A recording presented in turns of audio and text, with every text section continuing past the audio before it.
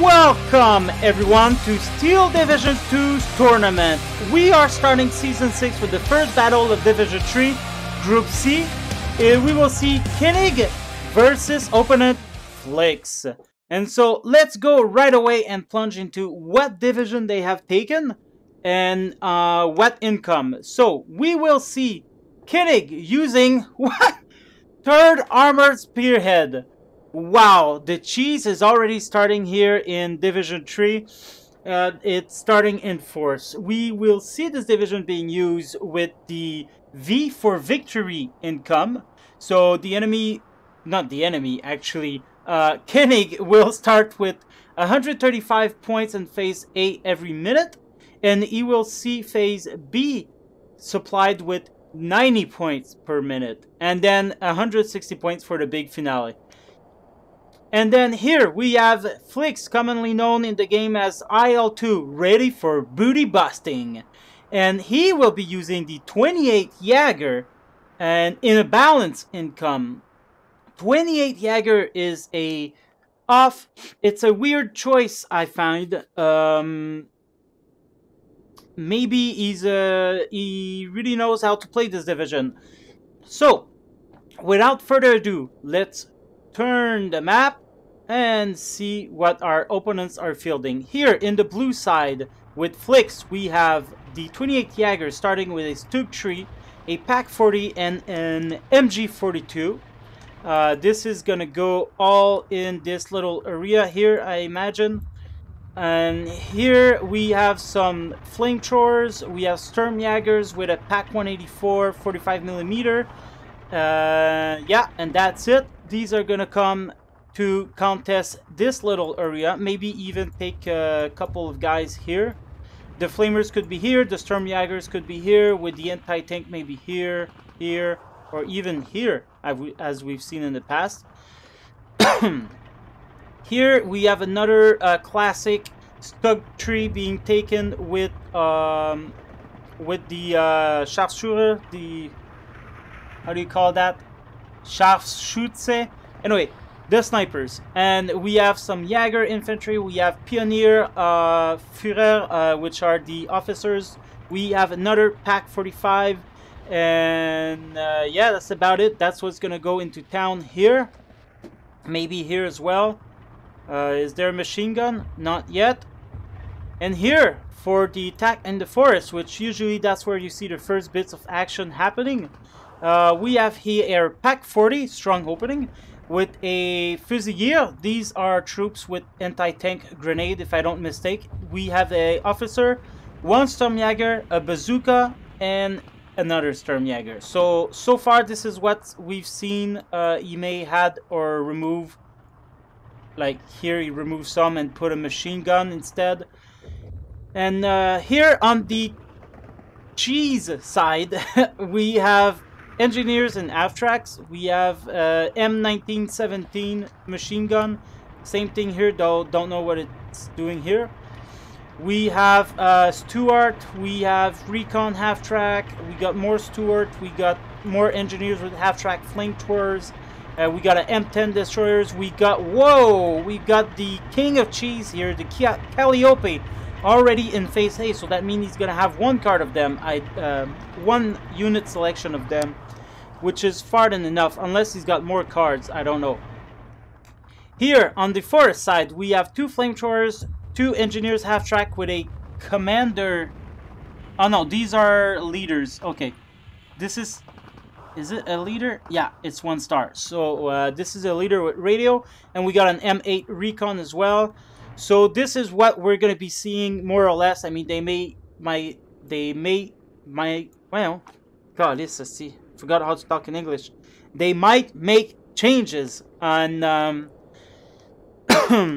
but we will see what's uh, going on here really soon. And in fact, we're gonna advance the time just a little bit.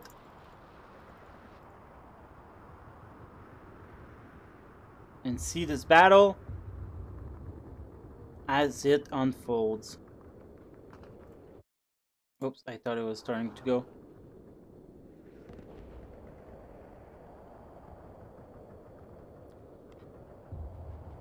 Division 3. So these are very good players. I, I I doubt they actually deserve to be in Division 3. I think they deserve to be in 2. But then again, who knows, right? And let's see on the side here of Koenig. So he ended up with an engineer and MG right here. So that's going to be the engineer right here. That's going to be the MG. Uh, Calliope is already starting to shoot.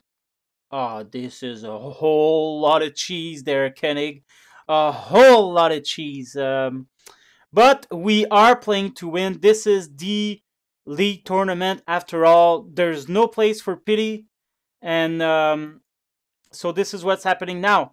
These troops here, uh, the flamethrowers and the machine guns are coming here. The rest are going to be going into town. Some here, some here, some... Wow, this is a very aggressive move. So you can imagine th these are the M8 recons or AFTRACs with recons and Stuart coming here. We will see. Uh, it's a good move to go in the open. Usually uh, the opponent will have the PaK 40s around here or just any kind of pack they'll have them around here or here. You don't see a lot of instant you know anti-tank guns being deployed here. Uh, or if they do it'll take some time because they have to cross the forest. So anyway and here we have a classic deployment uh safe here aggressive here. This is probably the flamers. Yeah. And from the side of Flix we have a typical safe deployment here. Not a lot of stuff. Not a lot of stuff. One, two, three. Uh, yeah, the there's. I don't know. That's not a lot of stuff. That's not very aggressive as much as uh, his opponent. We will see what it gives. This here is a regular move as well. Um, you can see he's on move fast order with the blue arrow and then he's gonna unload here. So he's gonna come here he's gonna his vehicle is going to park and then he'll move here. So that's a big waste of time i i think. Um, but i believe he wanted to make sure that they don't use this road and then cross here to this uh, but the opponent here, Koenig, is um, having a strong force here, so I wonder if this is going to be able to survive. The others are coming in here, which is a classic deployment type. And we do have indeed a lot of uh, troops coming here, probably the Sturmjagers. We have one flamer here. I do believe it's the flamer that's going to come here. There's a flamer going into town, and there's a flamer coming here. Yes, uh, Sturmjager and Pak 40 is going to be here. The Pack uh, 45. And, oh, so we changed that with two Stug here. One that's going to come here to protect, and another that's going to come here to protect as well. So we will see what all of this gives. Let's get ready for the battle, and let's start this.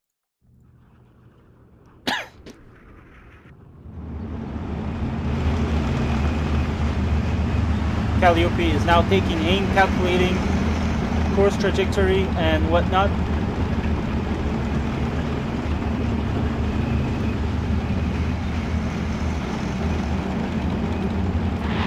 And there you go, the battle has started.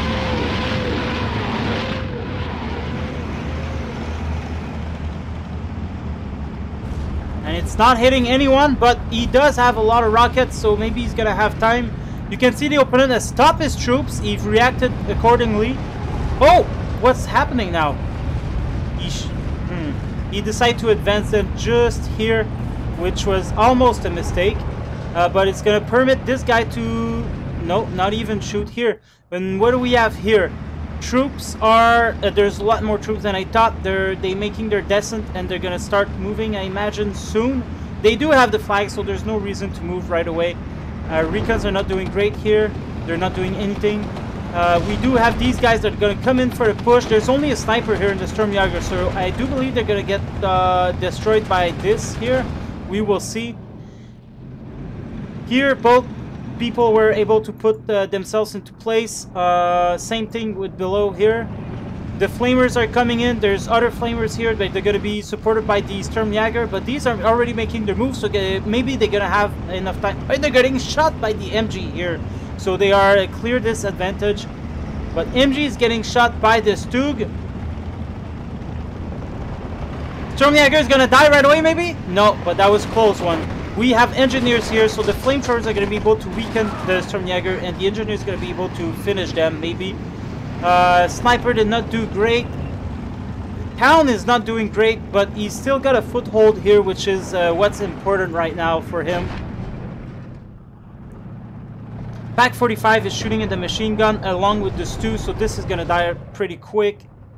And uh, this is going to give him a good advantage here. Um, facing only two flamethrowers here. Maybe he's going to move this Tug a little closer. Who knows? He's decided to test what the enemy has. He's going to be met with the same, and we will see who shoots first. Is probably going to be the one winning. No one shoots first. All right, well, there you have it. Uh, Engineer was forced back by the flame flamethrowers, which is great. Because Flix need all the help he can get right now. There's not a lot of movement here. Sturmjagers are going to be uh, pretty hard to dislodge, especially 2-star. Uh, but the M8 Recon starting to make his way. The half-track here is starting to make their way as well. We got the freezer here with the anti-tank grenades. Uh, they don't see much right now, but they, they could stop any advance from uh, tanks or half-tracks. He's moving slowly but surely. Reinforcements coming in the form of Stu Tree, two more Jaegers, some uh, some uh, bazooka. He's moved his thug here and he's gonna support town, which is great because he's already got a uh, pack here that's gonna be able to, to defend. And they know there's not gonna be a lot of action here. Both players are gonna be defensive here. Uh, they seem to be doing the same thing around here, concentrating on town. Uh, but he has uh, recons and reinforcement coming in this town, so he's want to push soon. Calliope is as moved in order not to get killed. They We have a jumbo already on the map. Uh, these are indestructible from the front. And uh, he's probably going to be coming here. And honestly, he should have taken the jumbo first before the M10. You place the M10 behind the jumbo, and then you have a good combo going on. Uh, but this is not what's going to happen here. Um, but the M10 didn't die, so that's always good. I think the Stu Tree would have been able to take the M10.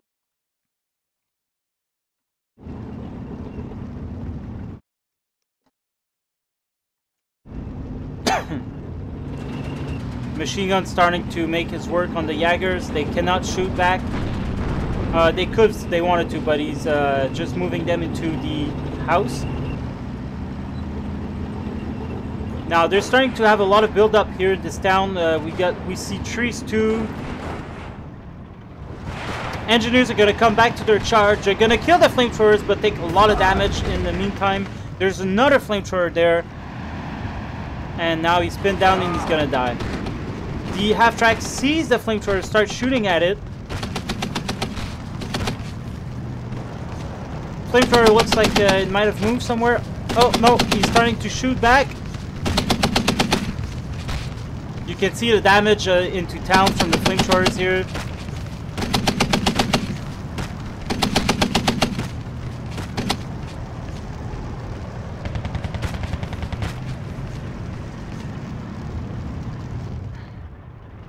Flamethrowers are pinned down. Uh, not much movement here. We have some reserve force. Uh, here, uh, Koenig has successfully taken town There's still a Fusilier here that could come in and maybe kill the M20, uh, but it's a long shot.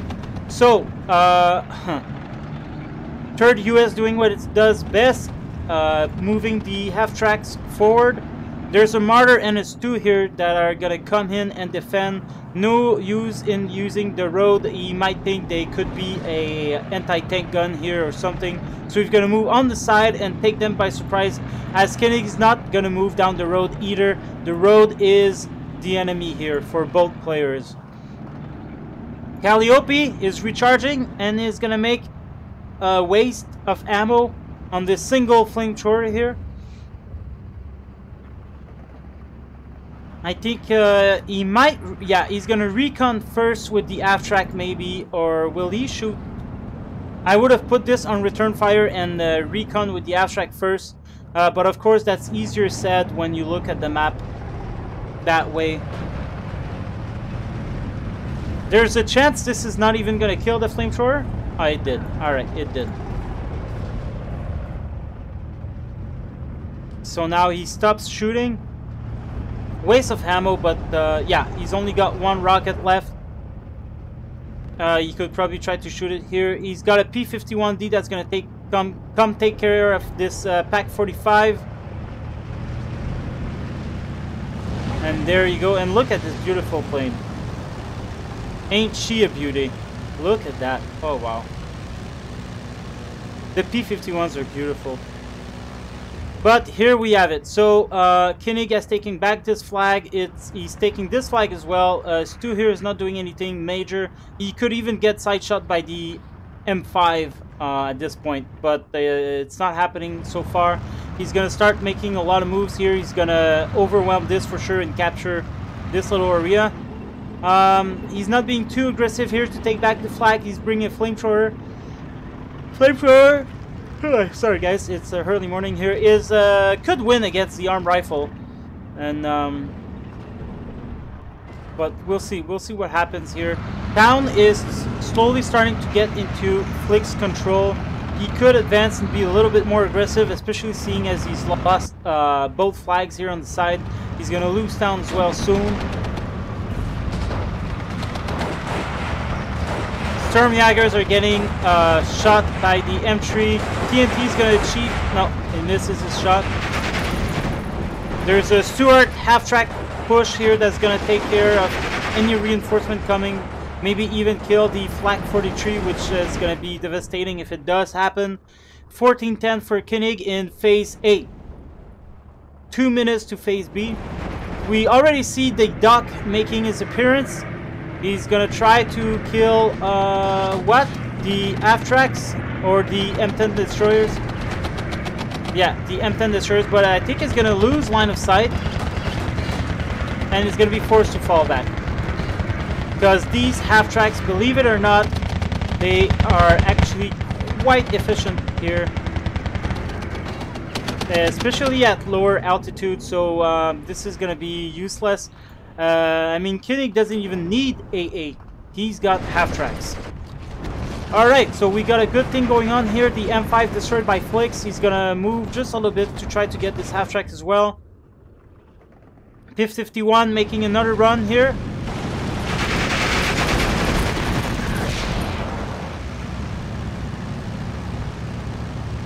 And it pinned down the Sturmjäger, which is now retreating. Uh, we see the first airplane here is going to get shot down by M3A1.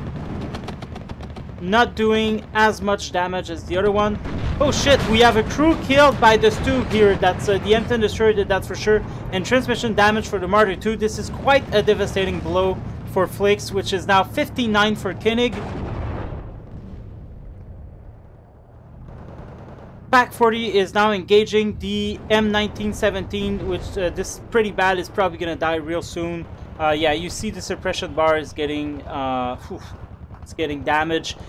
Focke-Wulf here is to be forced to retreat because of all of these half-tracks on the map. I don't know why Flix did not ban the third US. Uh, this is something you want to ban absolutely always ban this division because there's always going to be people like Koenig, désolé, fallait je le dise, that are going to take that.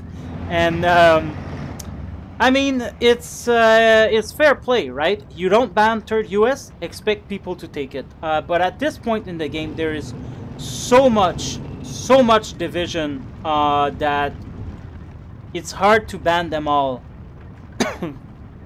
it's really hard to ban all the OP and the meme divisions. We see here the first uh, anti-air coming in. These are deadly if you run over them because they got the machine guns. Uh, but otherwise, they're, they're a good piece of artillery. They're not going to kill without veterancy unless the plane goes directly over them is what I found out. There's a jumbo here. Uh, the M10 looks like it died right here. 1410 for Koenig. Flix was able to take a, another flag. I think this one here, he could push a little bit more, but uh, he's being cautious, um, unfortunately, because there's nothing here. he's managed to capture this little area. Uh, he should probably try to grab this, but uh, he doesn't know. They could be a lot of, there could be some infantry here that's gonna shoot at him. Oh, but there you go. He's trying. He has to try for it. It's another flag in his favor. Uh, we see the duck again trying to go kill the M10 destroyer. He's gonna get suppressed. Oh, there you go. He captured this flag, and he. There you go. Shoot again, and he kills the M10. It's going to be able to retreat safely. Uh, oh shit! He had to do a different maneuver to escape that plane that came out of nowhere. Where is that plane? We don't know where the plane is, so now it's hard to evade. The pile's going to do his best to come back home. There's the enemy plane over there. It's being shot down by AA. Uh, oh shit! There's other action here coming in. The pilot doesn't see that and he's making his way back. But there was, uh, oh, that, that was support planes here. There was a Fokker fighter bomber and a fighter uh, covering the HS. The P-51s are going to retreat, uh, almost died here. 13, 11, 4 Flix. And at this point, uh, It's to be very hard to come back to.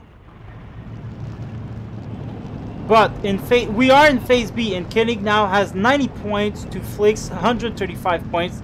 So he's to have a lot of chances of um, taking back. Here we see a Stug Tree facing a Jumbo. At this range, uh, maybe, but I doubt it. I doubt this is to kill the Jumbo. Uh, he could probably shoot all day and not achieve much. I don't know why he retreats. Uh, maybe you've seen that uh, he was penetrated.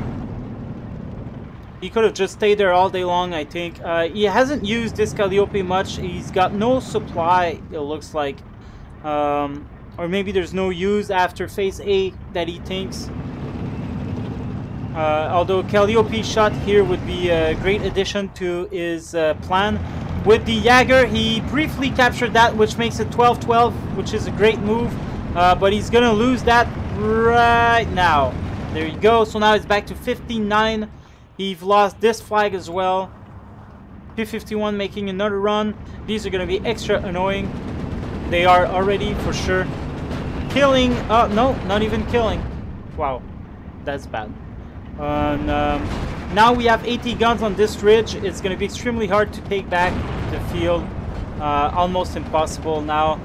Uh, with the 28 Jaeger, he doesn't. I don't think he has lots on. Uh, he's bringing some anti-air, another Stug tree. Stug tree died here. We don't see it anymore. There is a Pak 40 exchanging guns with the Jumbo, so this is not gonna work. And uh, yeah, it's pretty much impossible to destroy these. It is damaged though, you can see it as the uh, repair icon, and there you go. Flix abandons. He knows there's not much he can do right now. And uh, so this is this is uh, this is game.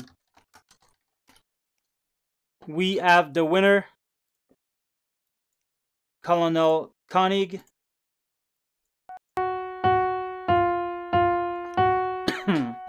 685 kills, to 770. So you can see that uh, Flix incurred a lot more losses. Well, a lot more.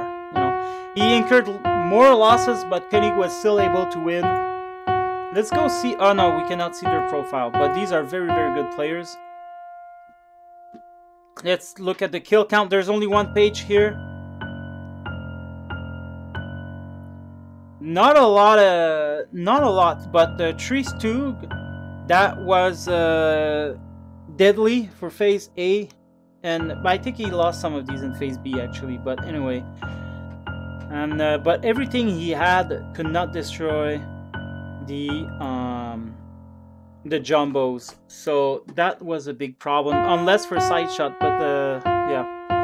Here, here's the kill list for Koenig. I mean for Flix. So you can see he killed a lot more, but uh, still lost. His Marder tree, his Marder 2 did uh, poorly, but I guess he killed what was in front of him.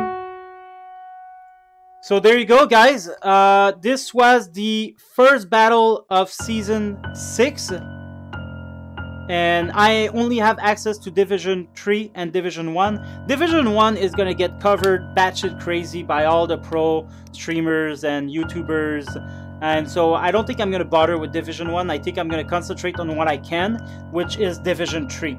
I have access to all Division 3 replays, and I think I'm going to try to do my best to cover them uh, as much as I can. So during the weekend, for me, it's easy. I am going on paternity leaves in two weeks. Uh, I'm getting a baby, disclaimer. So that's going to give me more time to do videos, but then again, maybe not. It's my first child, so I don't know exactly what to expect. Uh, but I believe I'll have at least time for a couple of videos per day in order to cover all of Division 3 um, battles. So I hope you liked it. I'm going to start working on the second battle of these players. So stay tuned, have a good day, and I'll see you during the next battle. Goodbye.